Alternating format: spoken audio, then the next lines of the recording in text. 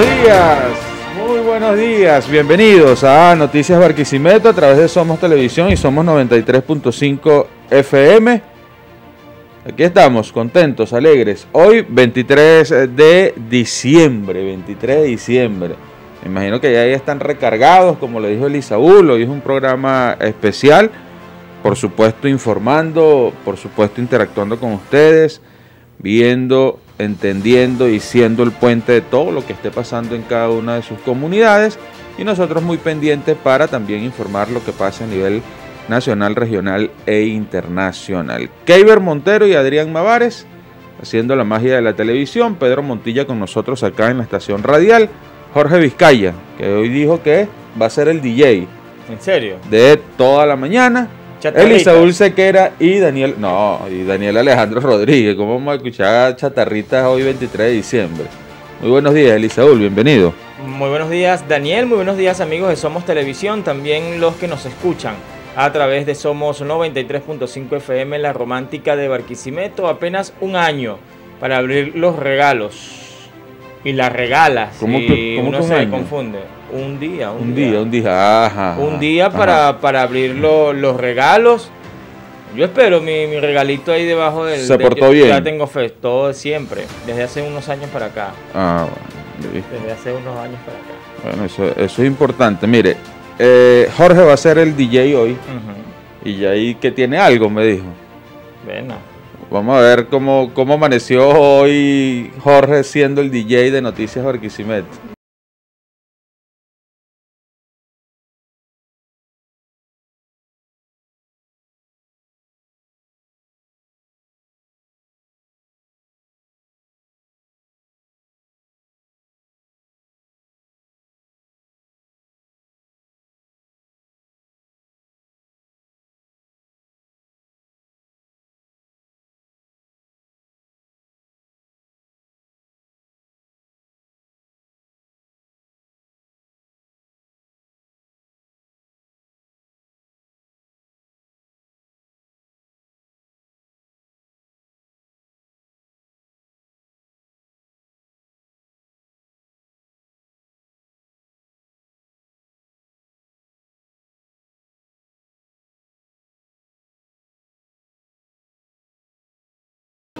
Es lo, lo de la película, sino como usted siempre dice, que la audiencia nos diga. claro.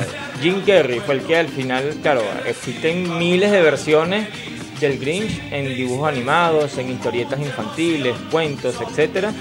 Pero bueno, una de las más recordadas fue el Grinch de Jim Carrey, que llevaron por primera vez al Grinch a un personaje o una película de, de carne y hueso.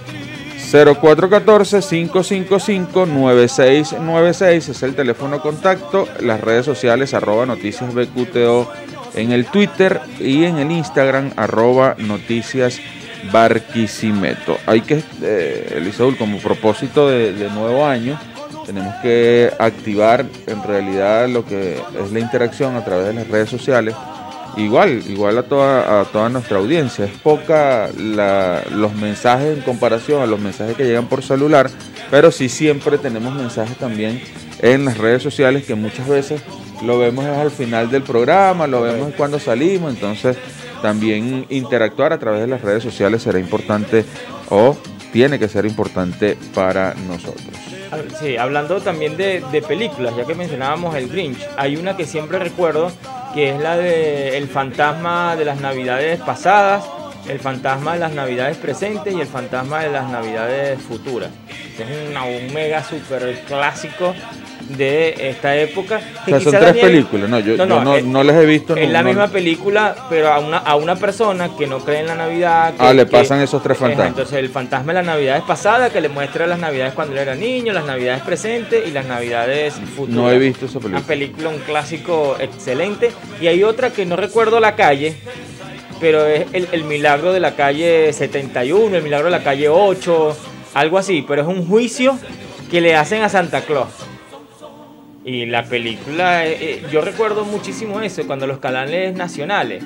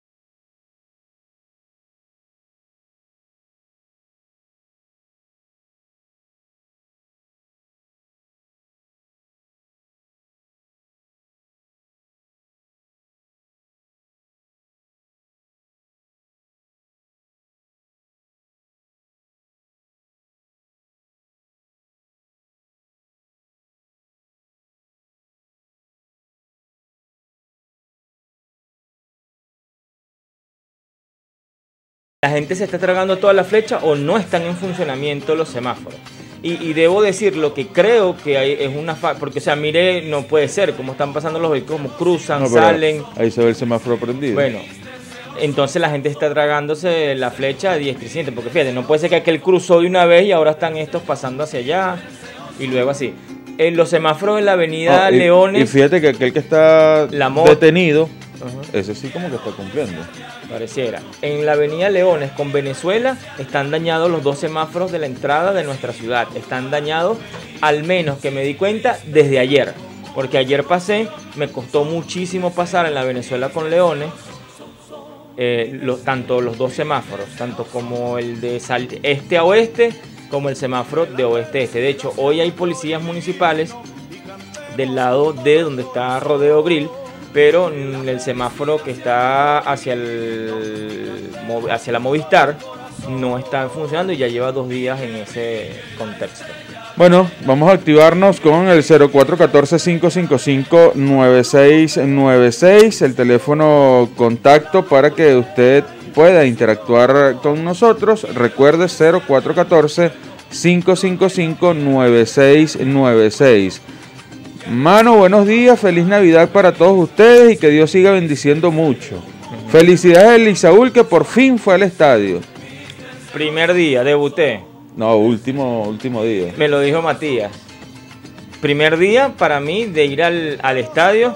Disfruté muchísimo, recordé, compartí con amistades. Además me mostraron cariño, afecto, muchísimas personas allí en el estadio y eso también motiva disfruté el partido a pesar de que Cardenales perdió, a pesar que jugó con el equipo C, el equipo D. Eh, disfruté del partido porque creo que más allá del, equipo es compartir con, las buenas amistades. Y siempre lo hemos hablado, Elisaúl, que eso te da el béisbol. El béisbol te da esa oportunidad de, más allá de tú ser un amante del deporte, de ser un amante del béisbol como tal, puedas en realidad disfrutar con amistades y personas cercanas. A pesar de que eh, la noche se me dañó finalizado el noveno inning. Transguaro ayer no fue al estadio. No, no sé si no fue. No, no, o sea, yo me, quedé al menos 20, media hora, no llegó. Y no dijo que iba en camino. No se llevaría absolutamente a nadie, a dos, tres personas, porque todo el mundo. Pero entonces sí fueron. Quedó, no, diga que no sé, quedaron varados. Bueno, por eso, pero no diga que no fue, porque usted está diciendo no, fue y usted no sabe si fueron o no. No, no, un foul, un foul el día de ayer. Usted no sabe si fueron o no. Un foul el día de ayer, yo quedé entre los últimos que se fue del estadio. Eh, hice mis planes para salir de, en Trasguaro y mucha gente quedó varada. Hasta el propio Gregorio Valles se mostró sorprendido de que no estuvieran, y o sea, porque el tema es avisar, ¿no? Mira, hoy no van a ir, o espérense una hora que hay ciertos problemas, pero sin duda una falta de respeto a las, a las fanaticadas que estaban contando con esos servicios para ir. Imagínense, el único día que yo fui al estadio fue ese y no fue. Para mí es el 100%. Claro. Pero la gente que va todos los días y que usa todos los días Trasguaro, no fue ayer Trasguaro y... Ah, no, no importa. No, claro que sí importa, Daniel. Tú no sabes lo que la familia sufre para llegar hasta su casa un 22 de diciembre claro, a las 7 y media, 8 de la noche. O sea, eh, eh, no, por supuesto, es excusable. Por supuesto que sí, está bien. Y todo lo que tal. Yo tuve que pedir cola. Yo soy usuario de Trasguaro. Y tuve que pedir una cola para que me llevaran hasta mi casa. Y pasó. Los de caudal. Pero si todos los juegos tú te has montado y eres así, no, no pasa nada. No, no, claro que sí, No pasa nada. No, prometas algo que no puedas cumplir. No existen los contratiempos entonces. no, no, no puede No existen. No, avisen. los teléfonos. Pero es que si llegaron, no, señor. No, Daniel, no, no, no, no se llevarían a nadie. Es, eh, eh, es una inmadurez haber mandado al, al trasguaro una hora después. Porque es que ni siquiera la gente sabía. Porque si tú le dices a en el noveno inning, llamas a Gregorio Valle, le dices, mira Gregorio, hay problemas, con X sean los problemas, dile a la gente que se espere, que Trasguaro va a llegar, pero en una hora después. No pasa nada. Pero si lo dejamos a la improvisación y, que a, a, eso no, no estamos haciendo nada. Se daña el último día del juego para mí empañaron una buena gestión que venían realizando. Para usted. Claro, pa- es que para mí no, para muchísimas personas que estaban allí en el Le Estoy estadio. diciendo que para muchísimas personas No, no, no, no. se ha empañado nada. Y el juego que viene, nuevamente van a estar ahí haciendo las colas para usar los trasguaros, contentos, alegres, porque lo van a llevar para la primera, porque lo van a llevar para La Paz, porque lo van a llevar. Imagínate tú, no se- no, no- Guara. yo le diría que no se confíen. No se confíen porque les pueden quedar mal y lo dejan completamente varado y les, y les desbaratan todos los planes que puedan tener. Usted no, no contó, No, no, no yo- hizo los planes. ya, yo no confío más en. No, no en hizo los planes. Ayer se le dañaron los Daniel, planes. Me tuve que montar en una camioneta en la parte de atrás, gracias a los buenos amigos del informador que me ayudaron y me apoyaron. si no ha sido por el informador, yo, yo me fuese venido de la Corpaguayco a caudar y a pie por Ah, toda la bueno, ribereña. No puede ser una Está falta de respeto. Buenos días, señores de Somos Noticias. Por favor, hágale llegar este mensaje al gobernador. Por favor, que no engañe al pueblo de Lara con el agua. Suelte el agua. El agua es importante y además tenemos derecho al agua. ¿Llegaría el agua? Ayer han debido hacer el anuncio con bombos y platillos. Listo. El tercer motor, ya van a empezar a... Me, me voy a meter en las redes sociales para corroborar de que de pronto no haya salido algo anoche y no, no lo hayamos visto. Buenos días, saludos. Poco transporte público en horas pico. Escriben al 0414-555-9696. Buen día, ya no hay gasolina ni dolarizada. Para enero salen los miles de casos. No, no- no crean eso. No se pongan a creer en, en esos cuentos de camino, señores. Los casos están y esa es la primera noticia del día.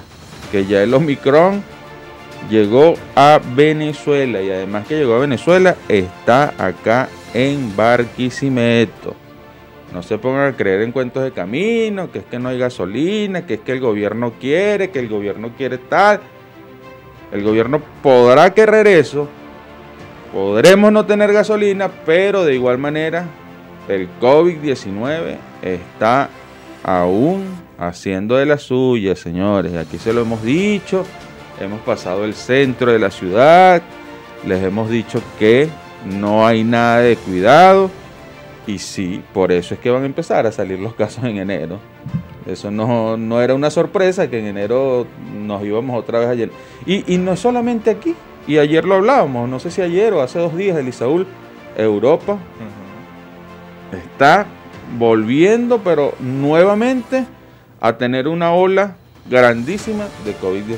Sí, y aumentan las restricciones de los vuelos, se vuelven más estrictos con las medidas de ingreso de turistas en espacios públicos, restaurantes, parques, plazas, y, y eso en cierta manera también va a influenciar en parte la economía, que en cierta manera en este segundo semestre, el año 2021, eh, pudiera haber una recuperación a nivel mundial. Nuevamente esta variante del Omicron pudiera estar generando algunos números en rojos para el tema del crecimiento económico que, que pudiera esperarse en, en estos países e incluyendo el propio Venezuela, que para mí ya se va preparando, eh, se va abonando el camino para tener un enero nuevamente con, con medidas mucho más fuertes que esta flexibilización de dos meses que se ha dado en noviembre y diciembre. Es que, es que yo recuerdo, Elisaúl, que cuando tú comentabas y decías que cuando estábamos viviendo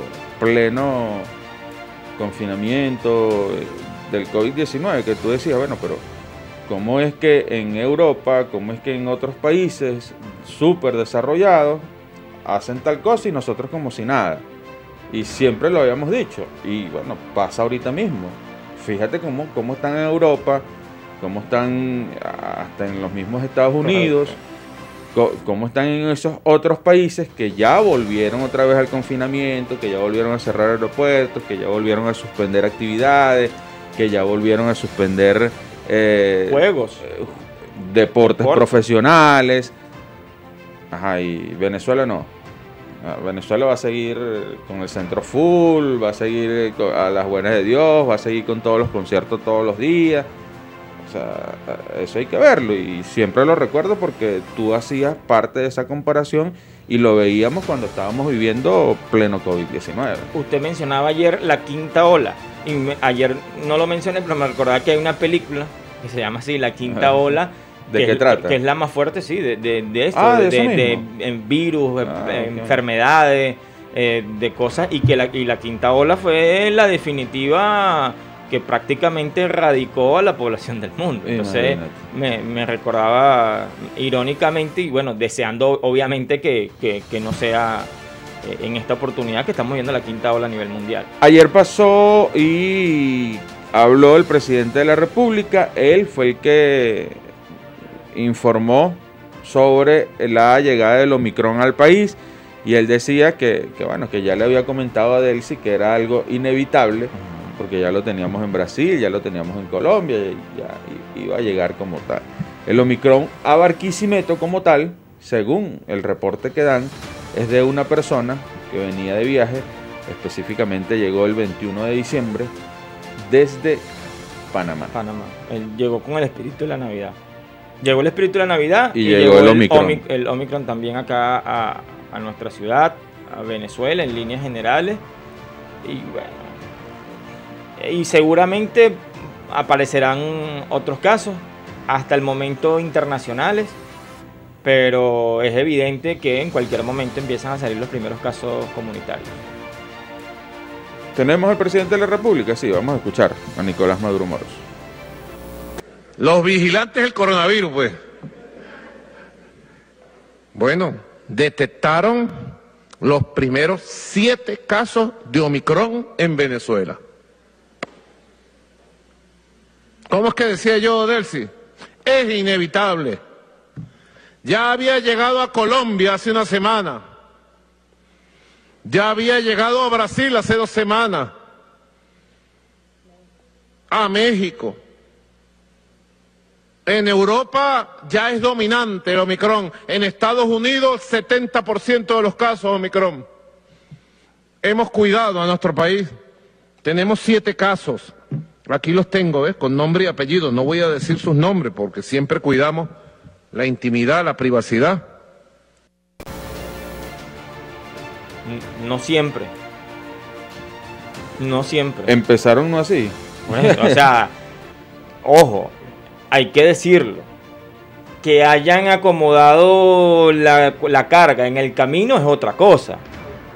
Pero decir, siempre hemos guardado la confidencialidad, Daniel, con responsabilidad debemos decirlo, no fue así. Aquí al señor que trajo esa enfermedad, casi que él eh, lo, lo apartaron de la sociedad. A él se le, no recuerdo el nombre del señor ahorita, pero recuerdo que eso fue muy fuerte. ¿Tú crees que no tiene que- que ser así? Hubo, hubo un. Para terminar el comentario, repito, Daniel. Hubo una. Un estado de WhatsApp de un amigo que, que decía: Qué bromón nos echaste, fulano de tal.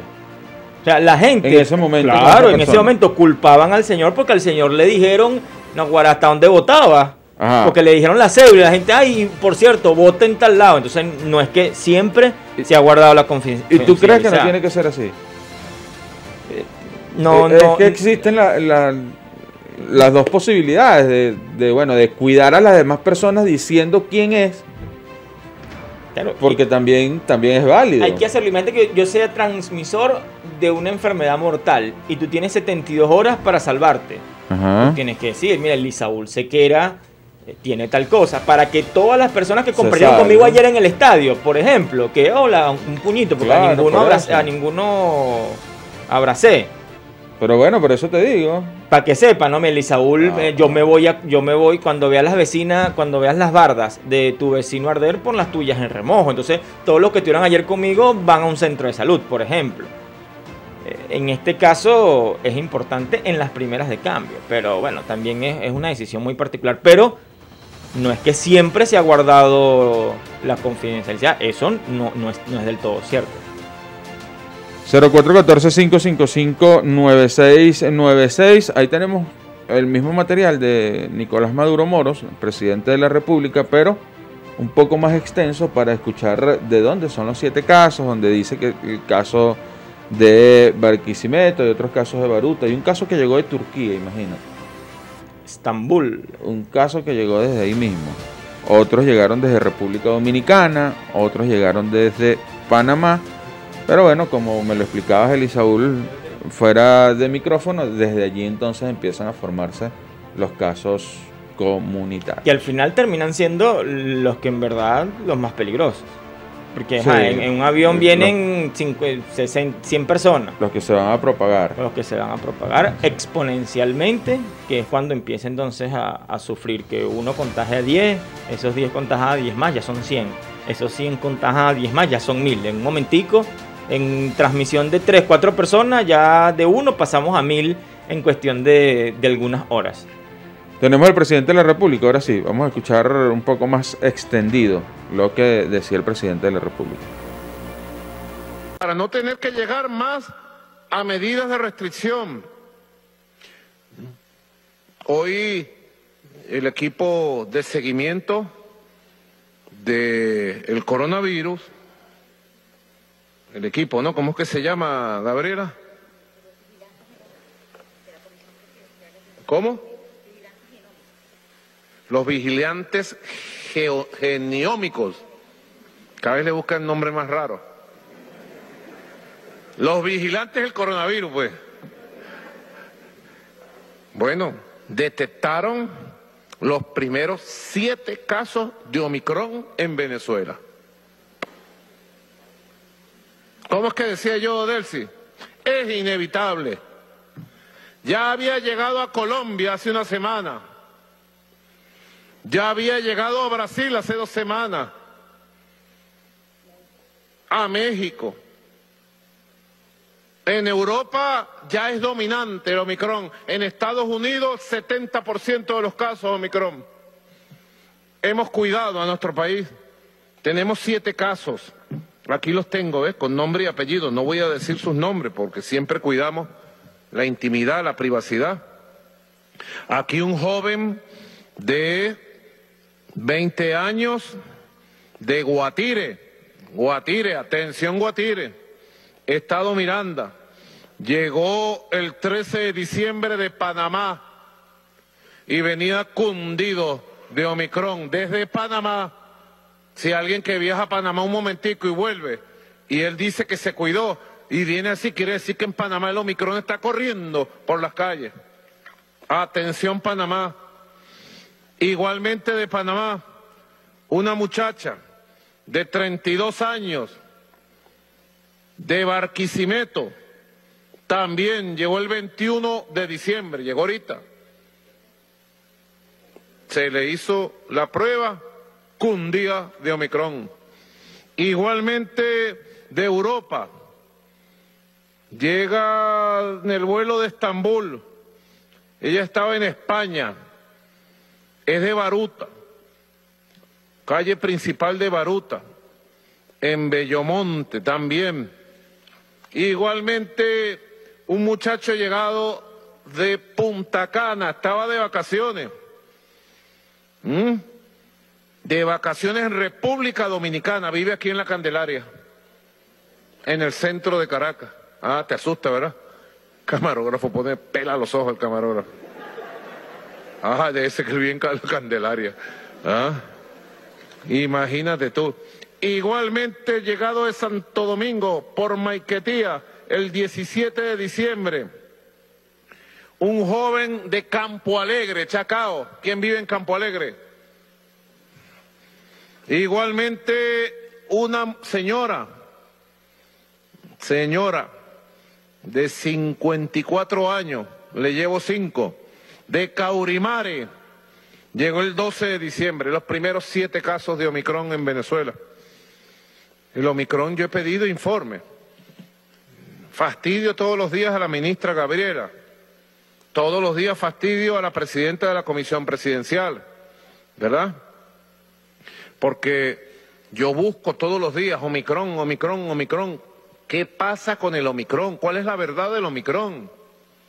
¿Es más letal? ¿Es más contagiante? ¿Se multiplica más? Bueno, yo quisiera, ministra, que usted le pudiera decir a nuestro pueblo, hoy, 22 de diciembre, día en que hemos confirmado los primeros siete casos de Omicron, ¿de qué se trata la variante Omicron? Ahí está. Los siete casos, detallados de dónde son, el sexo, la edad de dónde proviene fue la información que allí emitió el presidente de la República, Nicolás Maduro Moros. Entonces, ahora hay que leer muchísimo más sobre el Omicron, hay que tener la conciencia de lo que puede afectar ahora el COVID-19 con esta variante del Omicron. Y nuestra compañera Valentina Suárez ayer enviaba un buen material, Elisaúl, cuando se dio esta noticia, esta información. Correcto. Y, debo decirlo, mm, desde hace mm, varios días lo venía observando, pero ya hoy sí tengo que decirlo, no, eh, es, Omicron, es Omicron. Omicron. Es una palabra esdrújula. Veo con preocupación que el presidente no la pronuncia correctamente, la pronuncia como una palabra aguda. Dice Omicron, Omicron, Omicron. Omicron. Omicron. Una palabra esdrújula del alfabeto griego. Tiene dos O, el alfabeto griego. Una O larga, una O corta. Una O es omega y la otra O es Omicron. Entonces, para que en la calle, claro, escuchan al presidente y se propaga que, es Omicron, pero no, es así. Y entonces la vacuna no funciona. Es que la vacuna no es para que no te contagies. Correcto. La vacuna no es para que no te contagies. Es igual que las vacunas que uno le ponen de niño. Correcto. Se generan anticuerpos Correcto. que te protegen, que hacen más resistente, te hacen inmune o, o, mejora tus defensas para que cuando en verdad el virus llegue a tu cuerpo ya tengas anticuerpos que te defiendan, que sepan, ah, no, es que yo te conozco a ti. Ah. Y la primera vez te vencí de esta manera, ahora te voy a, vencer de, de, la misma, de la misma forma. Esto se está convirtiendo en un juego macabro por parte de los gobiernos para el control total de la población. Buena reflexión, todo es posible. Como les dije con la gasolina, como les dije con lo demás, es posible que ustedes crean, que ustedes vean, que tal. De igual manera, el COVID está. Y allí están los fallecidos, allí están los que no pueden vencer a la enfermedad, allí están las unidades de cuidados intensivos full en cada una de las partes donde podamos tener unidades de cuidados intensivos en Venezuela, usted va y no hay cupo. Entonces, quienes te tienen que atender, que son los centros de salud públicos, tampoco te atienden. Porque no quieren, porque no les dio la gana, porque no eres enchufado, porque no tienes a quién llamar, porque no te contestó el director de salud, porque no te contestó el jefe de tal. Entonces allí es donde se empieza a complicar todo. A mí me llegado un mensaje hace días más Voy a, voy a buscarlo. Voy a buscar ese mensaje. Lo debo tener por acá. Aquí, mira, este mensaje me llegó el 21 de diciembre. No lo había leído. Y ahora pertinente hacerlo porque la población necesita de ustedes. Buen día amigos. Tengo una impotencia tan grande en ver tanta indolencia en los centros públicos de salud. Dícese hospital, CDI, seguros sociales, no quisieron atender y prestarle los primeros auxilios a nuestra amiga de la manzana 6, la señora Gloria Pérez Ramos. Se agravó y falleció ayer. ¡Qué injusticia! Hay que tener una palanca para que puedan atender al ciudadano. No parece porque el derecho a la salud es lo primero. Es que a veces ni con palanca te atienden. Porque así de grave estamos. Y cuando estábamos en plena pandemia, aquí lo decíamos mucho, Elisaúl, las personas que ruleteaban por toda la ciudad y no eran atendidos. Correcto. Eso no es de ahora. Ah, que estábamos en plena pandemia y quizás podían decirnos, no, todo está full. Y no podíamos decir nada. Pero ahora, ahora, sí, está bien. Hay un rebrote y otra vez, otra ola y el Omicron y tal. Pero señores, tenemos todas las camas ocupadas en este momento. Tenemos todas las camas ocupadas el 21 de diciembre. Yo no lo creo. Yo no lo creo. Y si esa señora la llevaron a un sitio donde tenían todas las camas ocupadas, refiérala a otro. Claro. Refiérala a otro. una camita, una atención y fíjate. Y este es el que nos escribió. No sabemos cuántos más que no nos escriben. A nivel informático y de tecnología, mm, somos unos niños que, que ni siquiera gateamos, porque por lo menos tú gateas y avanzas, ¿no? O sea, un niño gatea y vola lento, pero llega a la puerta. Eh, aquí no hay un sistema donde yo me meta y como en Farmatodo. Correcto. Y lo voy a decir. Eh, o ajá, como eh, Locatelo, no sé, sí, cualquiera de esas farmacias. es así. Mire, aquí no lo tenemos. Pero en la sede de la 50, Así es. allá hay. Y tú vas seguro que en la sede de la 50 vas a encontrar. Así es.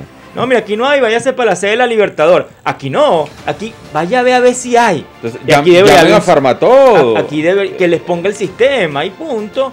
Hola, ¿cómo? Mira, Lo estamos llamando aquí de- del Ministerio de la Salud, lo estamos llamando de la Secretaría de Salud, Farmatodo. Vengan, ponerme aquí el sistema para que alguien registre y pongan, no hay cama disponible. No, mire, que, ah, en, en el CDI. Eh, Quedan cuatro. que- quedan tres camas. voy Ah, allá. pues vaya para allá. En el CDI, y mira, y, y, ah, pero este le queda más cerca, mire, este le queda en la ruta, aquí quedan dos camas disponibles. No puede ser, Daniel, que nosotros vivamos en el pasado. Fíjate que es tan fácil, una aplicación. que eh, tú, tú ingresas en, en Farmatodo y hasta te dicen, no, quedan dos, dos unidades de ese producto. Quedan cuatro unidades de ese producto en tal, en tal sede. Yo digo, Y en es, la otra quedan tres. es tan difícil desarrollar aplicación, aplicaciones, No. aplicar las tecnologías, las TICs No lo es. de información y comunicación. No lo es. No lo es. Entonces, bueno, entonces, aquí se habló muchísimo del gobierno electrónico, de los avances en- esta materia y somos incapaces de desarrollar una aplicación que te permita saber dónde hay camas disponibles en CDI, ambulatorios y hospitales. 0414-555-9696. Póngale ahí volumen a la gaita, Pedro. Vamos a alegrarnos más allá de que estamos hablando del Omicron. Ajá, y hasta Pedro lo empezó a pronunciar bien. Es que eso es lo que hacemos aquí en Noticias Así Barquisimeto. Da cosa porque es el primer mandatario nacional, o sea, es, el- es el- nuestro jefe de, de Estado. Ajá, ¿qué tiene ahí Pedro? Que hacer la cortina Celebremos hoy. esta Navidad, vamos O a cantar variarla todos los también, es que nos queda. Música gaita. pues. Por eso y variarla. Vamos entonces a hacer una pausa. Escuchamos un tema musical en Somos 93.5 FM y regresamos con más de nuestra programación de hoy, 23 de diciembre. La Navidad, la Navidad.